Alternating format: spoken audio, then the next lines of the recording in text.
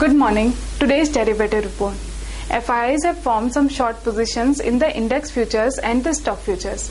They were net buyers of rupees 735 crores in the cash market segment.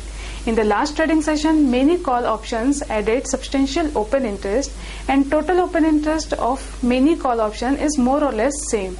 So initial uh, initial option data is not su- suggesting any strong resistance for the market. However, 6000 put options have highest open interest. In the last trading session, we have seen some unwinding in PTC and stock is correcting from higher level due to long unwinding.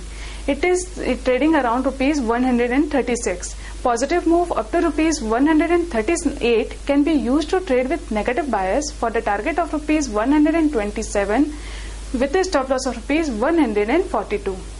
ONGC is uh, showing strong build up due to short formation. We may see a positive move in the counter due to short covering. Therefore, it is advisable to trade with positive bias for the target of rupees 1380.